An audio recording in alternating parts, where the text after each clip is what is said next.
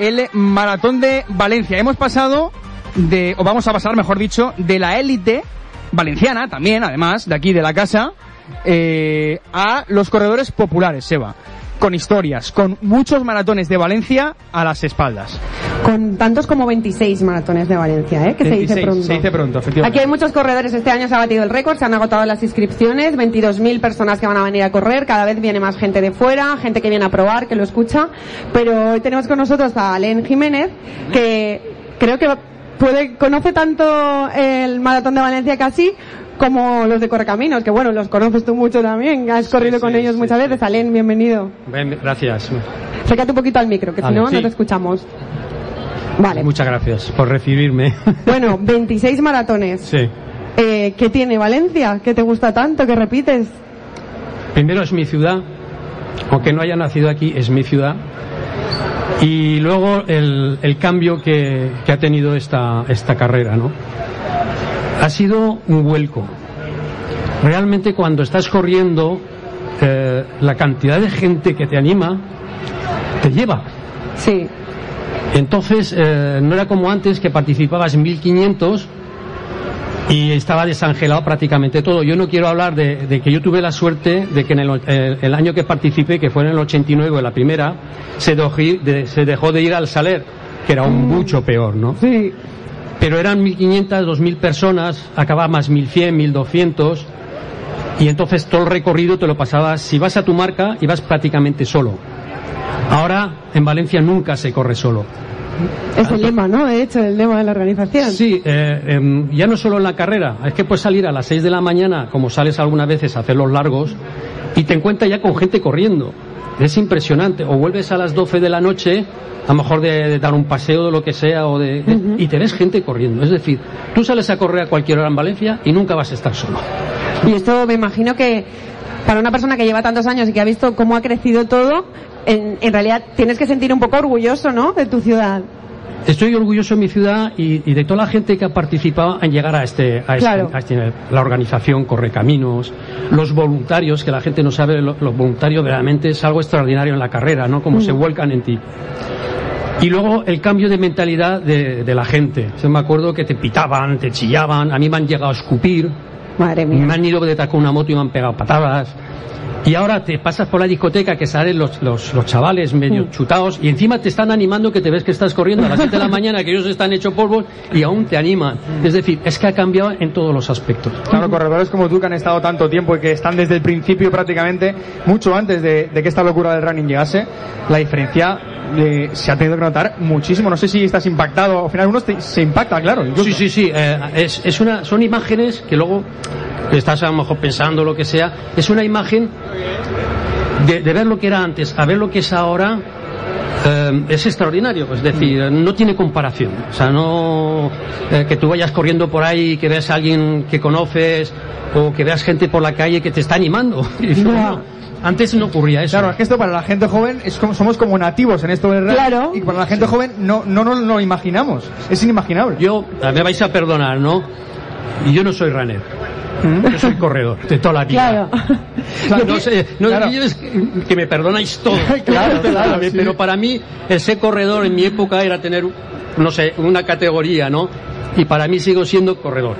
Yo te quería preguntar, Alen, eh, ahora es muy fácil subirse a la moda esta del running, me he unido hasta yo, imagínate, pero a ti hace 29 años, bueno, antes empezarías a correr. Pues empecé en el año 82.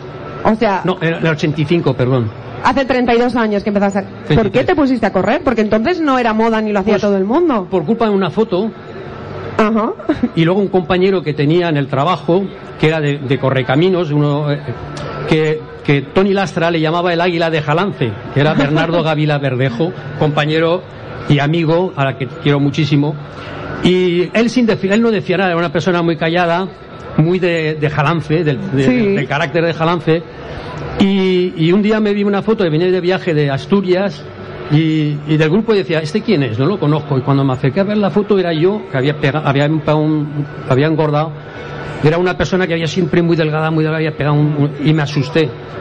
Me asusté y, dije, pues o tengo que dejar de comer o voy a hacer deporte. Entonces decidí hacer deporte. Y empecé a correr y lo que me animó a correr fue esa foto. ¿Y te, te enganchaste mucho. Porque no has parado desde entonces. Sí, sí, me empecé a engancharme, a engancharme.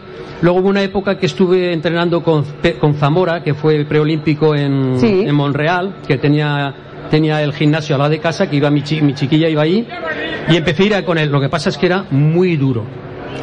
Muy duro. Pues hay que decir que tú eres muy metódico porque me consta que tienes apuntadas todas las salidas que has hecho para preparar todos los maratones. Desde y van 26. Desde el año 88 llevo registrado todos los datos, es decir, kilómetro a kilómetro, los tiempos que he hecho cada kilómetro, los tiempos que tiempo hacía, con quién he salido. Es que no había Garmin entonces. Ahí voy. Esto ahora es fácil, antes no tanto. No, eh, era llevar un, un cuadernillo que regalaba Correcaminos en las maratones, donde ponían los apartados y entonces ibas metiendo pues el, el, el tiempo que habías hecho, los kilómetros, y eso es lo que llevaba. Y entonces luego yo eh, hice una base de datos en la que empecé a poner, igual que estaba en, el cuadernillo, eh, en la base de datos. He ido modificando la base de datos porque, claro, la informática ha ido cambiando. Sí. Y desde entonces he ido registrando. Y sin contar los tres primeros años desde que empecé hasta ahora, llevo 67.000 kilómetros apuntados. Madre mía. No está mal, ¿eh? Qué barbaridad. Oye, eh, tú ah, has dicho, yo soy corredor, no soy runner. ¿La moda esta de el relojito que mide y toda la tecnología, te has apuntado o eres, vamos a entender un poco, minimalista en el sentido de correr como antes?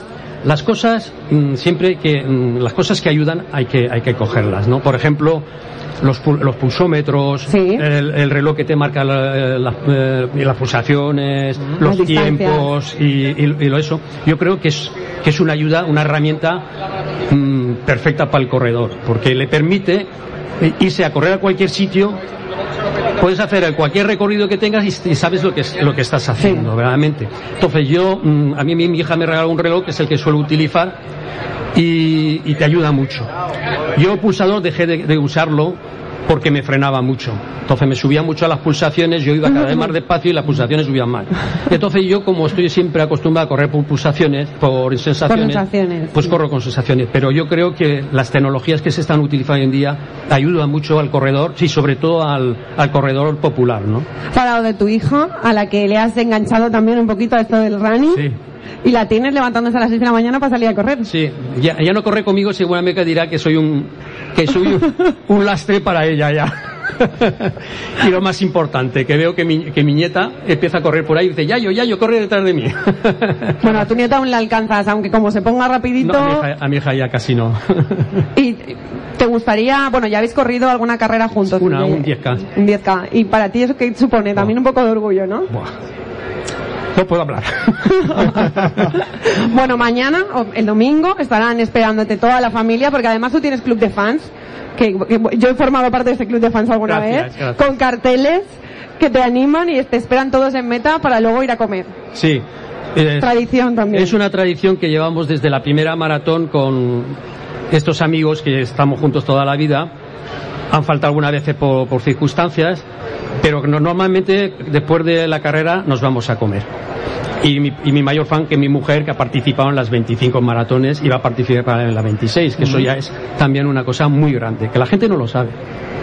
El, papel, ¿no? De la pareja. Lo, dicen siempre, hay gente que, que lo resalta, el que te aguanta cuando tienes un mal día, cuando sales a correr y no te va bien cuando sales a las 6 de la mañana. Al final parece que correr es correr solo, pero no, no, es correr solo. Además tienes a la pareja detrás que, que te pega caña. Claro. que hoy has hecho solo 6. Eso imagino para ¿Qué te ha ti pasado? Has vuelto muy pronto, ¿no? Sí, sí. Es importante porque hay que meterse no solo caña a uno mismo, sino que, sí, no, caña. Es muy importante. Es que la pareja es súper importante porque está allí ¿eh? y, tiene que aguantar muchas cosas. Es que, es que tú, mm, bueno, yo he, cogido el horario de, salir a las 6 de la mañana sábados porque sé que esas horas no, no interfiero en, en, la vida social. En, la vida, en nuestra vida. Claro. Entonces, normalmente, pues eso suele salir a las 6, a las 7, depende. Mm. Depende de la distancia. Y de, de 26 maratones, eh, que, que, son muchos, ¿Tienes algún momento en la cabeza que, que, puedas decir, este es el mejor momento, hablando de, maratón eh, en Valencia, de, mi vida, un, un, año, una carrera? Sí, eh, hace, ya no me acuerdo, hace 8, 7, 9 años, y es un recuerdo que tengo de, cuando íbamos por Alboraya, porque pasaba por Alboraya la carrera, no sé si fue el último año o el, o el penúltimo, Y fue, iba con el, con el práctico de tres horas y media. Yo había dejado ya de, de entrenar para hacer eh, marcas y eso, y fue subiendo, el- había una especie de puente que subías en Alborea final, y le cogí la pancarta al práctico para que descansara un poco. Y empecé a contar chistes. Ay, En el kilómetro, mía. creo que era el kilómetro 35 o 36, dije... Cuando "Ostras, ya no estás para A tres y chistes, medio, ¿eh? A tres y medio. Sí. Y era cinco, o sea, el ritmo era de, Claro, de claro. cinco y decía, contando chistes, y decía, ¿cómo es posible que yo a estas alturas, con la edad que tengo, que yo me estoy ayudando al práctico y estoy contando chistes? Y es uno de, los, de, de esas imágenes que se te quedan, ¿no? Pues Alen, mucha suerte el domingo. Gracias, Eva. No te voy a preguntar tiempos porque No. esto es acabar. Tú, los últimos años a mí siempre me has dicho, no, yo acabar. Eh, A base no hay que decir los tiempos, porque si no, luego en la maratón te vas a obsesionar con, con el tiempo que has dicho, que has, que, que has largado. ¿Y qué pasa? Que estás obligado y entonces te puede pasar cualquier cosa. Entonces, a- al tiempo que salga y, y ya está. Pues te esperamos en meta, en esa pasarela, todo el club de fans, Muy bien. para, para darte un abrazo. Gracias, Eva. Gracias, Que Alen. lo paséis bien y que eso os vaya bien. Gracias. De la élite a los populares, ¿eh? qué importantes son, Eva. Luego volveremos.